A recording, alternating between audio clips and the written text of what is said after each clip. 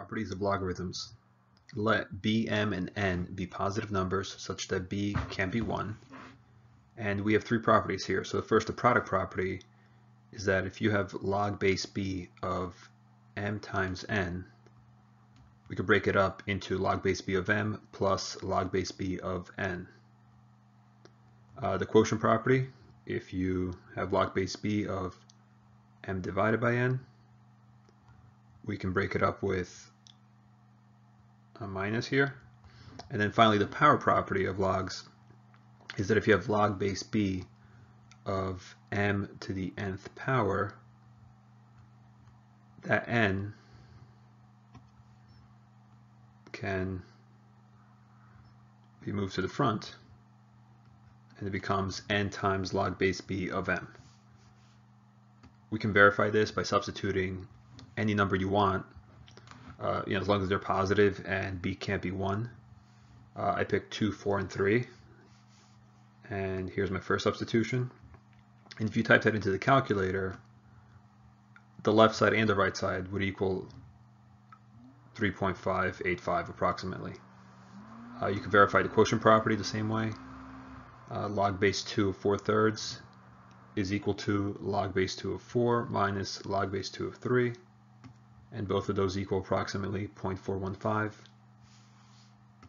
and the power property again that 3 the exponent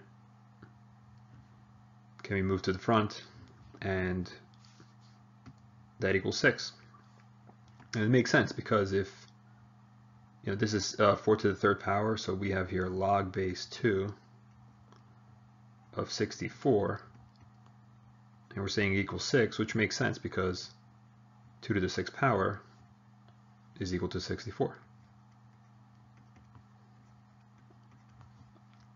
Uh, here are some properties that people think, I'm, I'm, sorry, here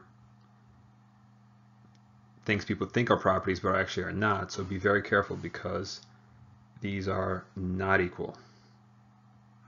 Not equal, very important, and, and just verify it with your own numbers. You should try it out. Example. So use these two log approximations to evaluate each of the following. Uh, again, these are approximations, as you can see by the symbol. So log base 4 of 3 sevenths, because we have division here,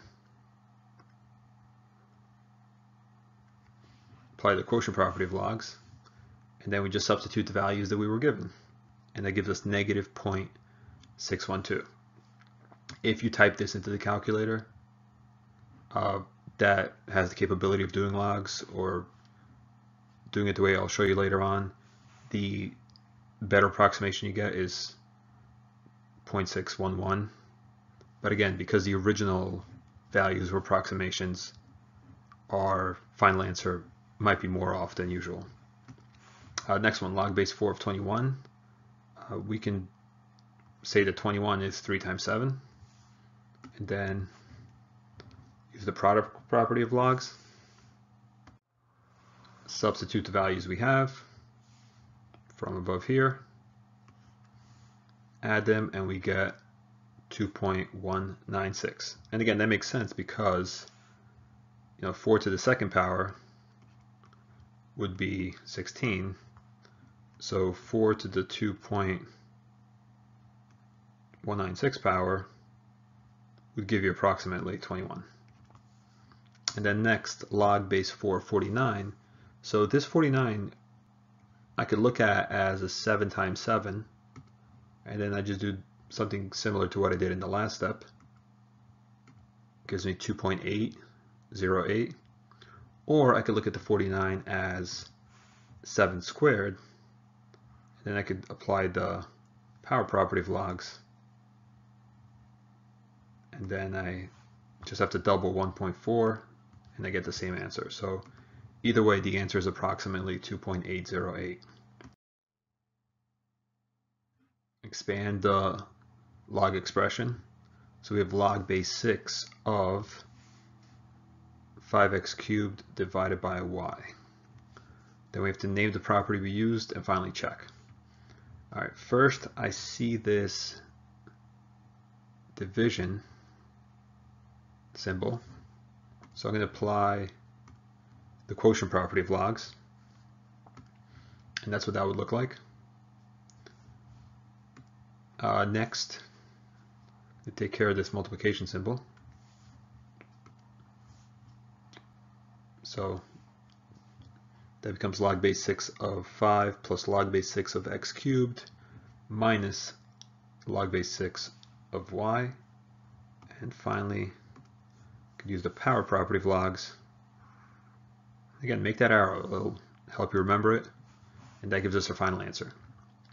If we want to check, uh, just assume that all the variables are positive. So pick a number for x, pick a number for y, substitute it into the original, substitute it into the final answer, and they should be equal. Which of the following is equivalent to log 9 plus 3 times log of 2 minus log of 3? So here we have a log base 10, also known as the common log, and it's the opposite of what we did the last problem. So the first thing I will take care of is this 3. It's going to get moved back as an exponent. So you see that over here. And I could take all three of those things and write it as a single log. So that's log of 9 times 2 to the third because those were being added and everything's being divided by 3 because of that minus there. All right, uh, I could simplify. Let me show you what I did there. I simplified 9 over 3 is 3. 3 times 8 gives you log of 24. So final answer is D.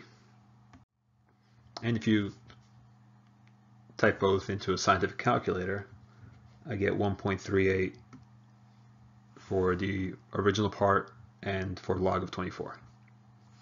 And again, what that's saying is that if you think back, so again, this is base 10, we're saying 10 to the 1.38 power is approximately 24. And again, it makes sense. 10 to the 1 power is 10. 10 to the second power is 100. So that should work out. Logarithms with any base other than 10 or e can be written in terms of common or natural logarithms using the change of base formula. This allows you to evaluate any logarithm using any scientific calculator.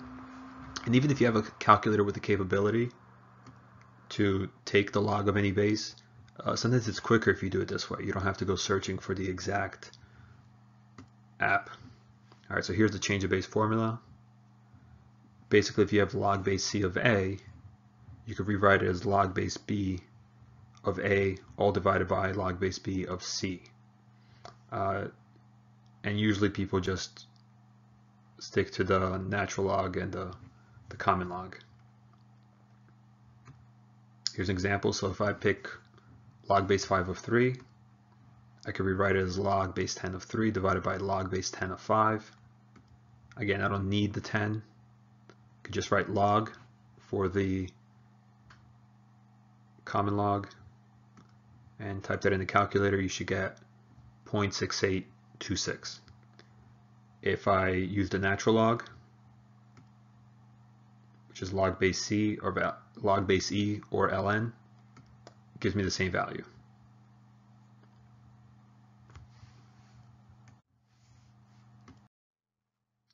Let's use that to try an example. So evaluate log base 3 of 8